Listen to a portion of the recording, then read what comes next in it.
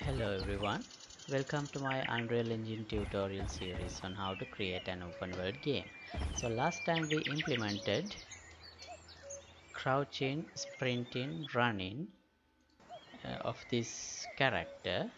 And this, this time uh, I want to work with our melee combat system. But before that in order to have a combat or fight I need some another character. So that means a AI character or NPC character. So before starting on melee combat I'll show you how to create a simple AI character which is inherited from this current player character. That means this CH human and here I had a small problem last time. Because of this jump function I defined here. So I'll fix that first. So because of this jump function there is a native jump function in Unreal as well. And for this one so because of this part this jump function calls this jump function and this one again calls this one. So this leads to uh, something called a infinite loop. So that's why whenever I try to jump it the game exit with this error. So I'll fix it like this. First I'll rename this to jump or dodge. Because uh, I can't use the name jump. And also when I have this combat system I need a dodging function which will be assigned to the space bar as well. So jumping and dodging will be controlled by same thing. Therefore I'll use this name and compile it so that instead of this one I'll put jump dodge. Right for now there is only jump no dodging. But it will fix this problem. So yeah now again I can jump. Alright. So let's start with the AI character. First this is our human character and if I am going to inherit another character with this one if I inherit another character from this same class I will inherit this spring arm and this camera as well which is not required for the other characters. So therefore I'll do something like this. First these are the parts that handles mouse input. And also I don't have anything any references of this camera or this spring arm in my code. So I'll make a duplicate of this class first. Right and I'll go here and delete this spring arm and the camera. Right. Okay so now in our character there is no more a camera. So if I try to play it it will be like this. So this is I'm in like inside the character and no camera. Because this happens there is no spring arm component okay now I'll create a child blueprint class from this one like this and I'll call this ch player. The reason to inherit is because uh, these all are going to be human characters. Enemies so npcs so everything is going to be a human character. Therefore I only have to do the changes like I only have to implement stuff like fighting jumping running and everything in this character and all the inherited characters will have the same behaviors other than the overridden functions. Okay so now this is the player and here I will put back the camera component so I have already made a duplicate and I'll go here and copy them and go here and paste them. Right. So I don't need this duplicated class anymore. So I'll delete it. Okay and as for this player character I'll use this uh, ch player class. Alright. Okay now I have the same character same as before. Okay. So now let's work on our AI character. So I'll use this same ch human class as the AI character. So first thing I have to do is I need an AI class which I can do with this which I can create like this. So in where is it okay I'll go here. And we have these all classes here. I'll type AI controller. Okay now under AI controller I have two classes. Grid path AI controller and Detour AI controller. I think this Detour AI controller is a little advanced than this AI controller in terms of finding paths around other characters. So I'll use this one. Okay and I'll call it AI human.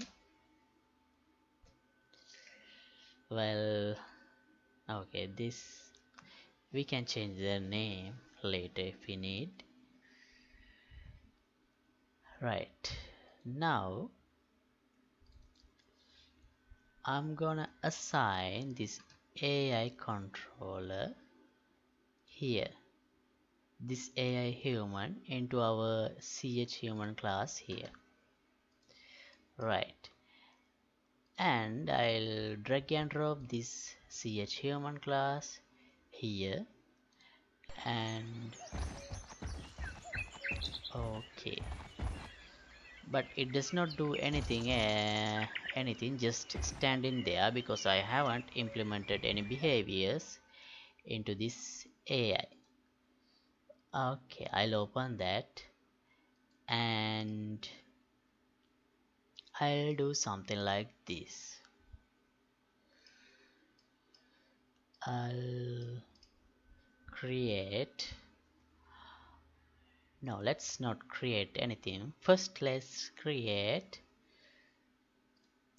an interface for the AIs as well so that I can access those functions with the interface.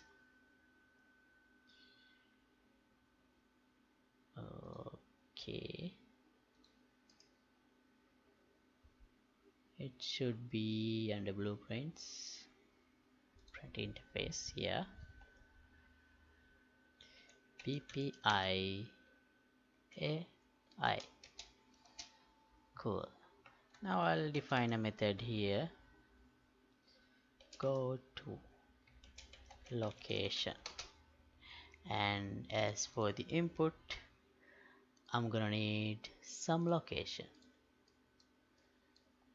I'll call this one target location alright and that's enough for now. And here I'll add that interface I just created and implement it.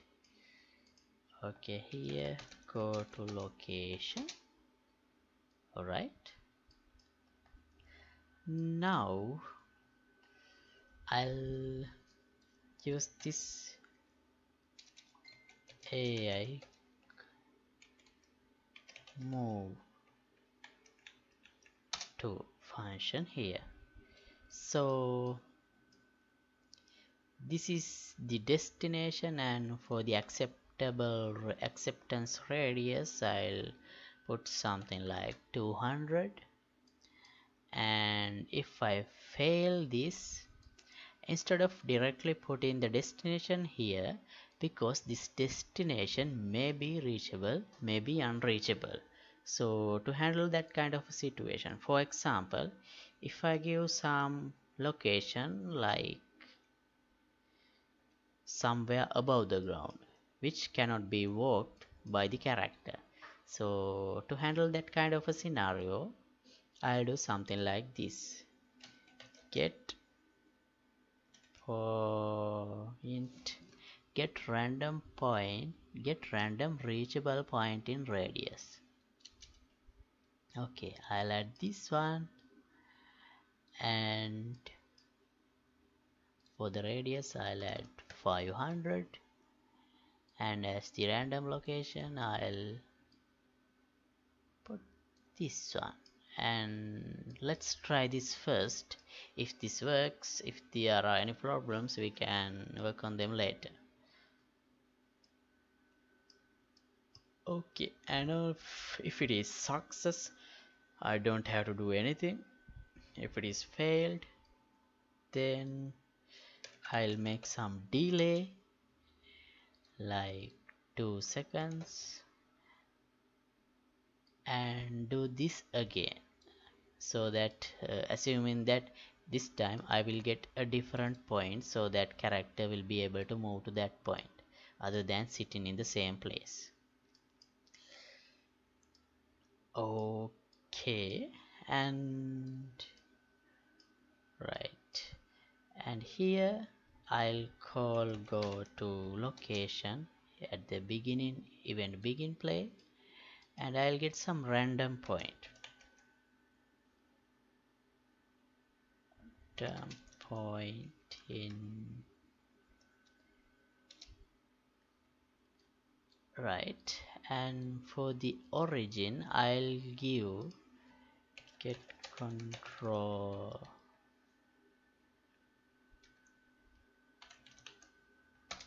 So this is how we access the pawn or the character controlled by this AI class and I'll get the position of that character like this. Get actor location.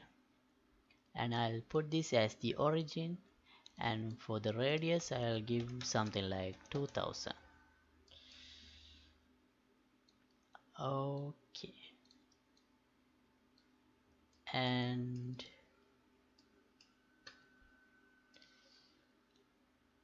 right if this is a success I'll again call this part so that it will again add a new target location and character will randomly move here and there okay now now just be if I press play I'm sure that it is not going to work. That's because we haven't added a navigation mesh into our world. So you can already see this code is more working but character is not moving because there are no nav mesh so I'll add a nav mesh to this world nav mesh bounds volume like this. And I'll make it a little larger like this.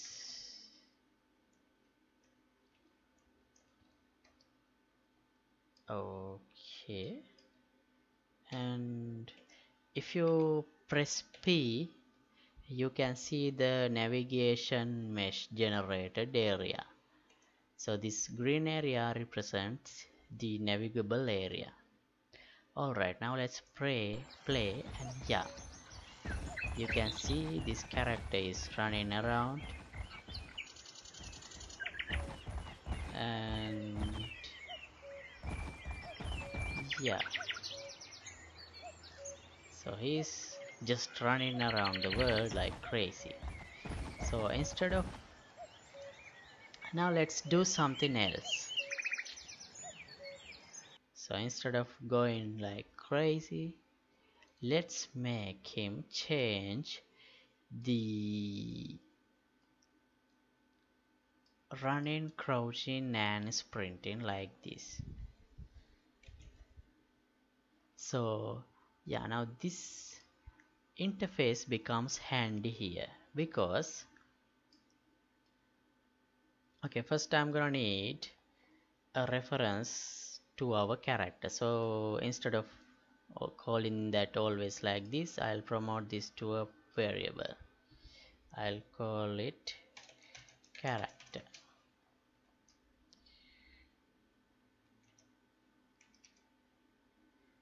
why can't I use the word character? Name is already in use. Okay. I'll use the word uh, pawn. Is not also available. I'll use controlled character. Okay. Oh that's too long. I'll just use ch stands for character. Alright now so I'll do it like this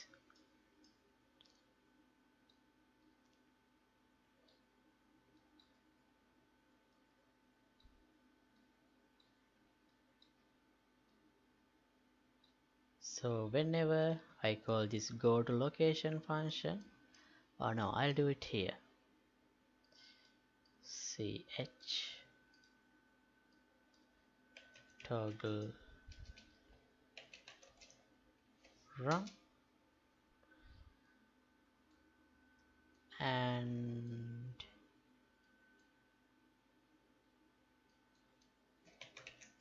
I'll get a branch here and the other thing is toggle crouch. So since that we have defined these toggle crouching and toggle running methods in our BPI character we can call them without having to cast this into uh, into this ch human class. So that's why I did it like that okay now everything should be random. Therefore I'll put a random bool here. So character will be sometimes walking sometimes running and sometimes crouching. So let's see. Okay he's running and now he's walking. Yeah the walking speed does not match with the animation and again walking. Okay now he's crouching. Alright. So that's our AI character or the NPC character. And in the next videos we will further work on improving our AI character and also fixing the issues that we already that we have with the existing systems. And after that melee combat. Alright see you in the next video. Goodbye